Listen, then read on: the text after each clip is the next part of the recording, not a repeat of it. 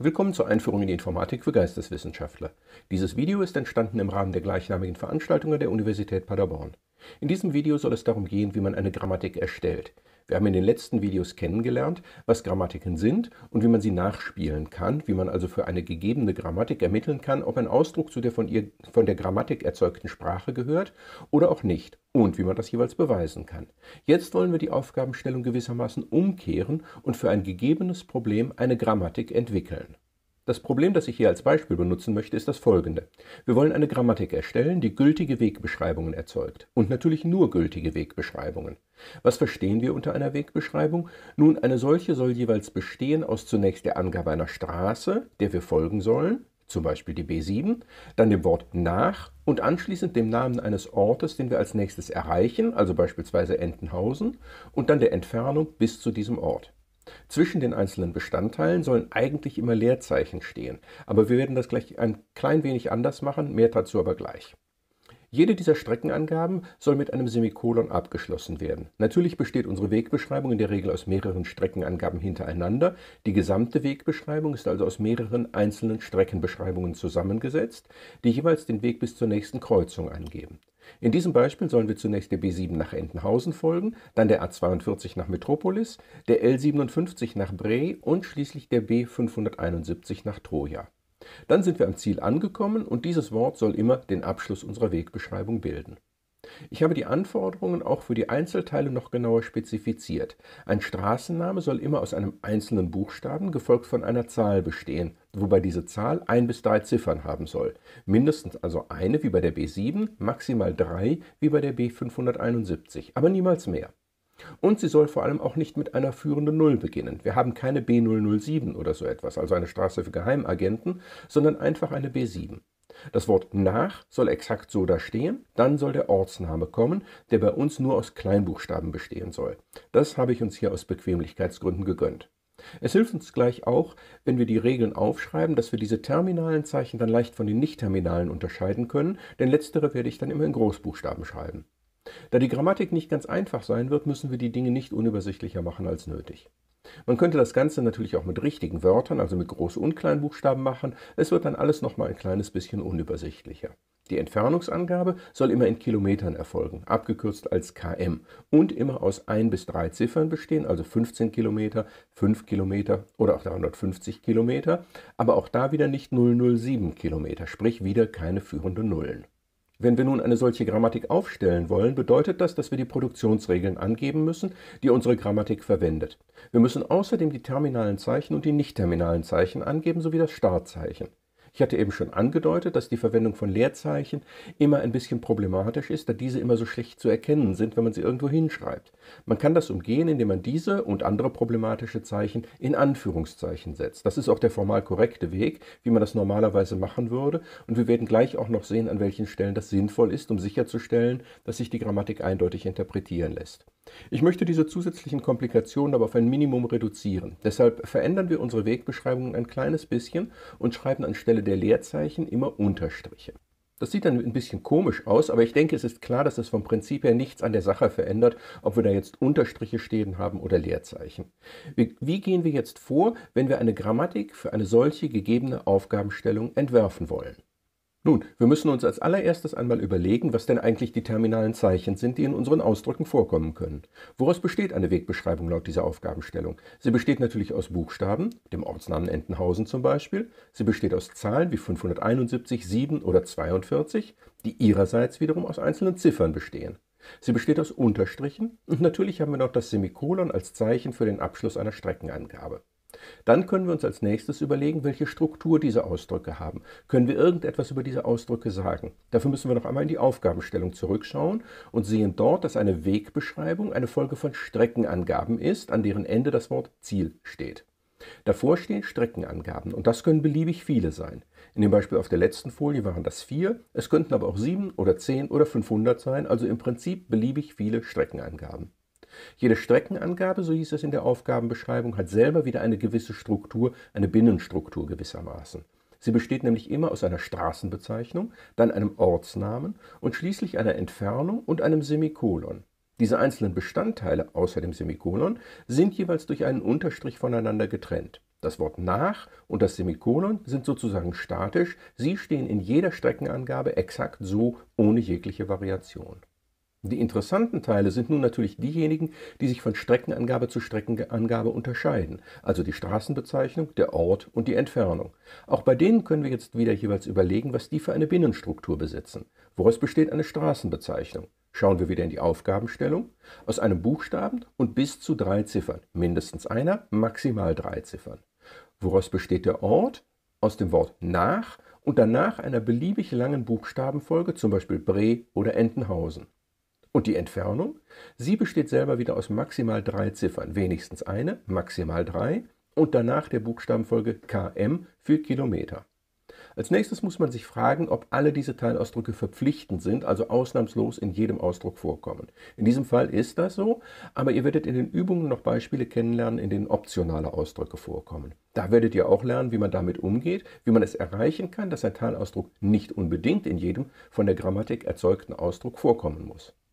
Dafür werden wir gleich auch noch eine Technik sehen, von der hier nicht, noch nicht unmittelbar zu erkennen ist, warum wir die brauchen. Aber wir werden die erforderliche Technik für diese optionalen Ausdrücke gleich schon kennenlernen.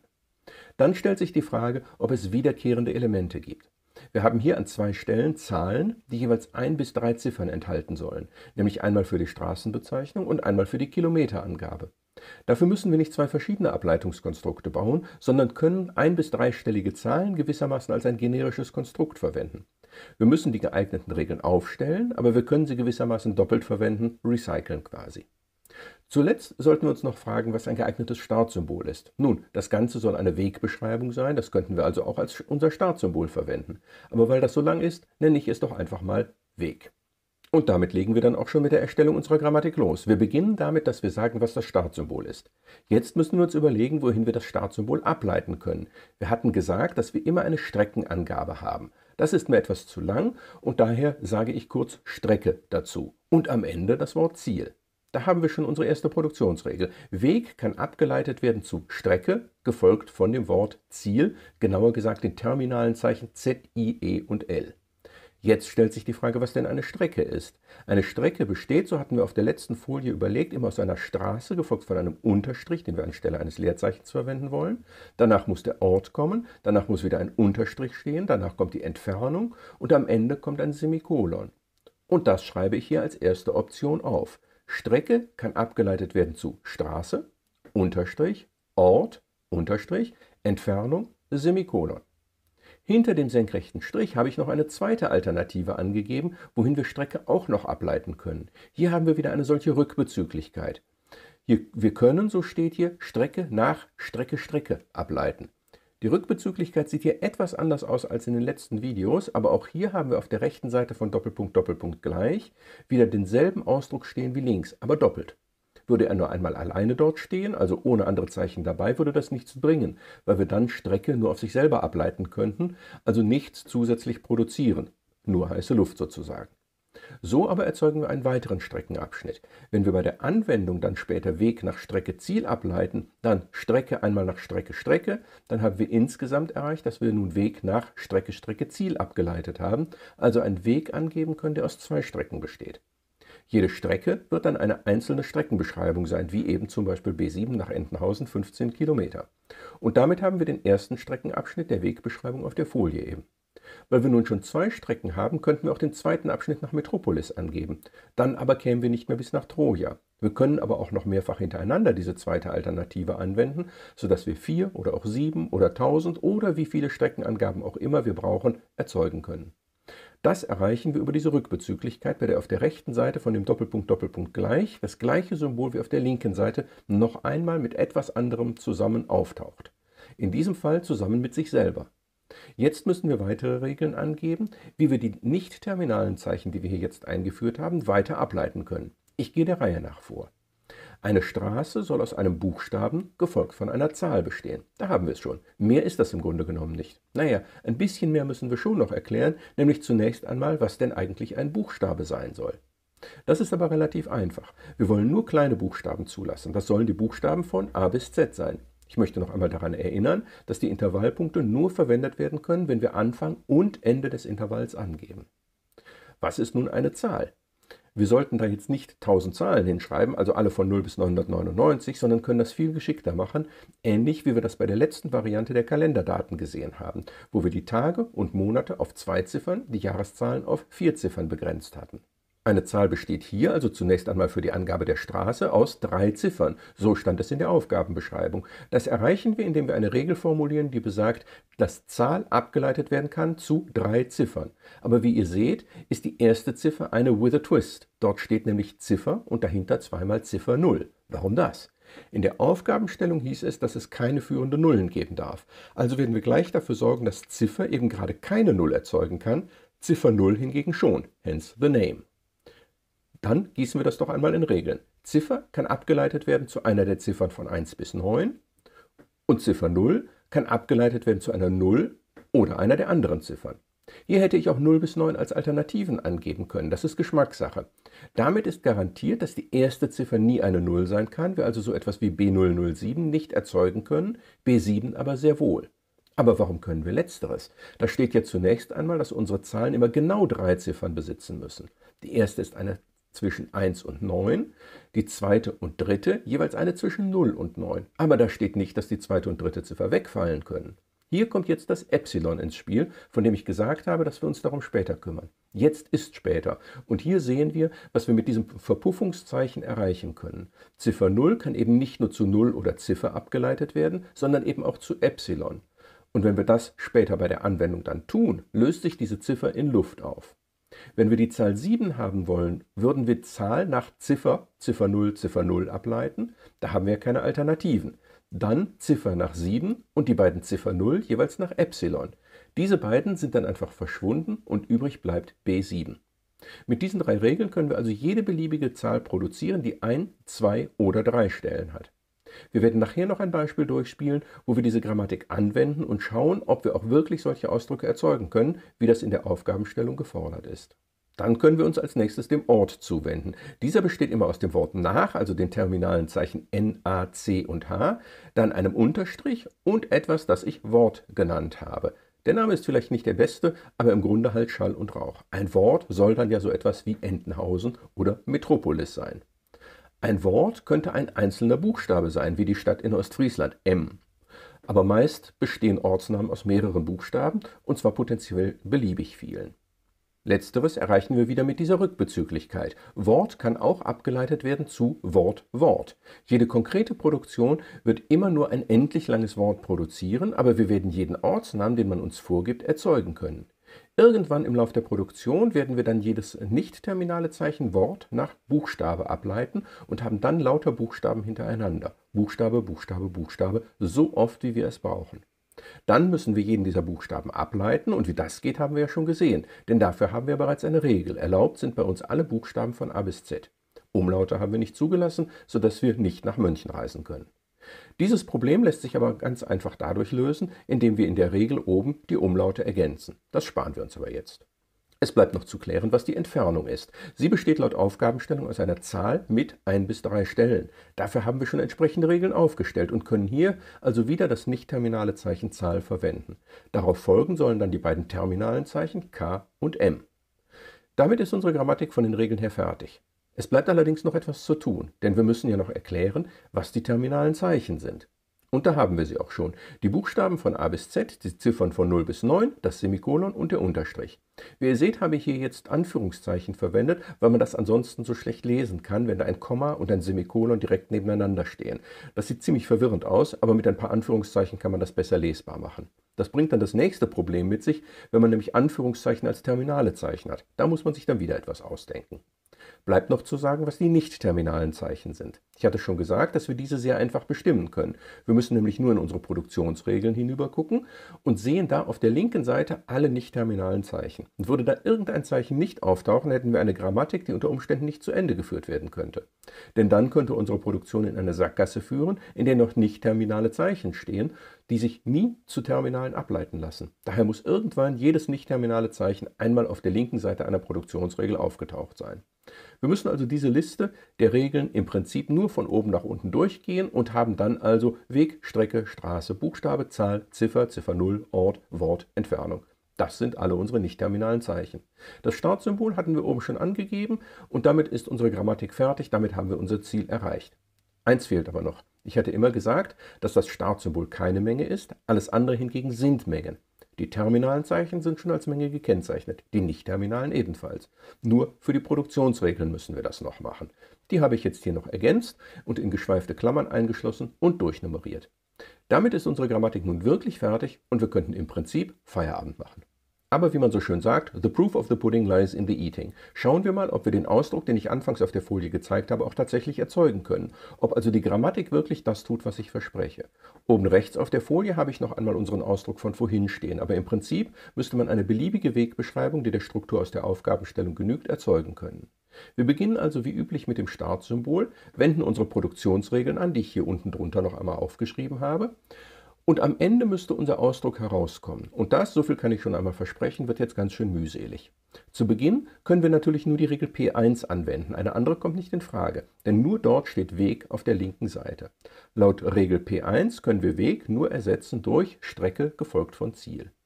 Jetzt müssen wir dafür sorgen, dass wir irgendwie vier Streckenangaben erzeugen, da wir erst die Strecke nach Entenhausen haben, dann die nach Metropolis, dann die nach Bre und zu guter Letzt die nach Troja. Wie machen wir das? In der Regel P2 ermöglicht uns die zweite Alternative genau das. Dort steht, dass Strecke abgeleitet werden kann zu Strecke, Strecke. Wenden wir diese Regel einmal an, haben wir jetzt eine Strecke mehr, also zwei insgesamt. Wir wenden sie noch einmal an und haben nun drei Strecken dort stehen. Wir wenden sie noch einmal an und schon haben wir vier Strecken dort stehen. Mehr brauchen wir nicht.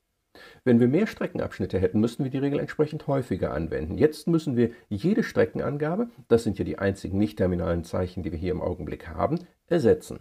Da kommt nur die Regel P2 mit der ersten Alternative in Frage, nach der Strecke ersetzt wird durch Straße, Unterstrich, Ort, Unterstrich, Entfernung, Semikolon. Und das machen wir viermal hintereinander. Die Leerzeichen habe ich hier zwischen die einzelnen Teile gemacht, damit man noch erkennen kann, was wir da eigentlich schreiben. Sie sind nicht Bestandteil des Ausdrucks. Jetzt können wir ein beliebiges dieser nicht-terminalen Zeichen austauschen. Ich gehe so vor, dass ich als erstes mit der Straße weitermache. Für sie können wir die Regel P3 anwenden, die besagt, dass eine Straße ersetzt werden kann durch Buchstabe gefolgt von Zahl. Das machen wir natürlich für alle unsere Straßen.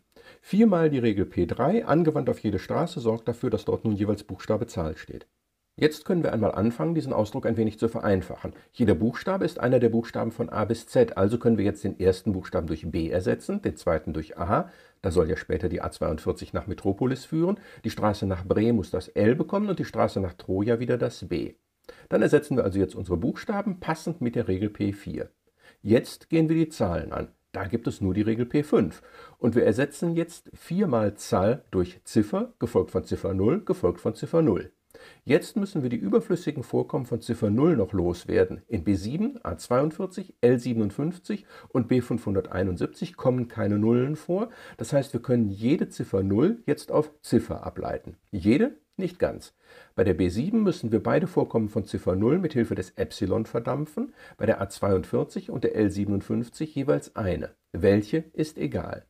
Wir wenden also jetzt achtmal die Regel P7 an und haben nun die passende Menge an Zifferzeichen in unserem Ausdruck stehen. Ihr seht, dass das Epsilon hier nirgends auftaucht, das wird nie geschrieben. Jetzt können wir jede dieser Ziffern ableiten nach Regel P6 auf eine der Ziffern zwischen 1 und 9. Die wenden wir also jetzt achtmal an, wieder in unterschiedlichen Alternativen. Damit haben wir die Straßenangaben zumindest schon einmal erledigt. Das ist doch schon mal was. Als nächstes können wir uns jetzt zum Beispiel mal der Entfernung zuwenden. Da können wir die Entfernung jeweils ersetzen, so sagt die Regel P10, durch Zahl gefolgt von km.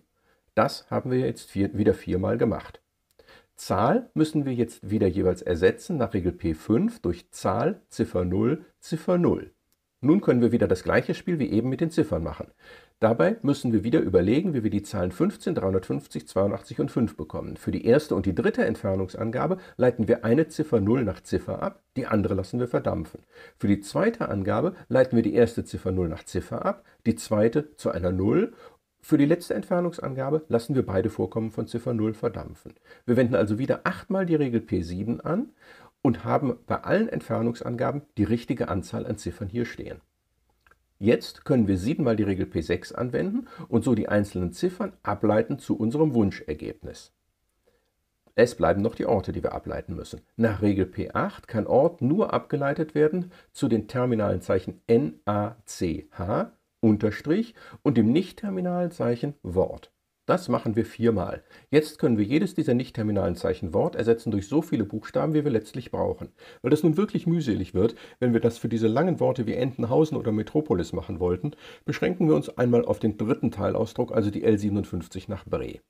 Wir müssen hier jetzt aus dem Zeichen Wort insgesamt vier Buchstaben erzeugen. Nach dem gleichen Verfahren, mit dem wir im ersten Schritt die Strecken erzeugt haben, können wir hier durch dreimalige Anwendung der Regel P9 Wort ersetzen durch Wort Wort, dann das eine Wort wieder durch Wort Wort, haben dann also insgesamt dreimal das Zeichen Wort und eines der Zeichen Wort noch einmal durch Wort Wort. Dann haben wir insgesamt viermal das Zeichen Wort dort stehen. Wie schon gesagt, ist die Bezeichnung Wort wohl nicht die geschickteste gewesen, aber nun ersetzen wir nach der ersten Alternative von P9 alle Vorkommen von Wort durch Buchstabe.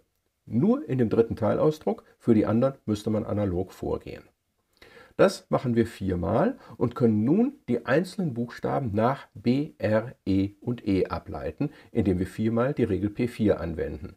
Wenn wir uns diesen Teilausdruck einmal angucken, sehen wir, dass der zwar etwas sperrig geschrieben ist, aber wenn man das noch einmal vernünftig aufschreibt, genau der Teilausdruck ist, der dem dritten Streckenabschnitt entspricht. Analog müssten wir das natürlich jetzt für die drei anderen Streckenabschnitte durchführen, aber ich hoffe, ihr glaubt mir, dass das auch geht. Ansonsten könnt ihr es einfach selber von hier aus weiter durchspielen bis zum bitteren Ende, bis also tatsächlich kein einziges nicht-terminales Zeichen mehr vorhanden ist.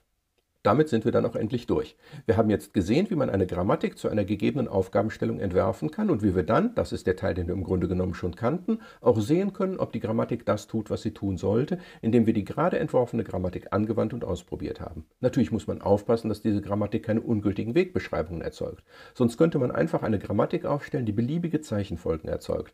Dann kommt zufälligerweise unter allen beliebigen Ausdrücken auch die Wegbeschreibungen heraus. So ähnlich wie man nur genügend viele Affen lange genug auf Tastaturen tippen tippen lassen muss, bis irgendwann ein Roman dabei herauskommt.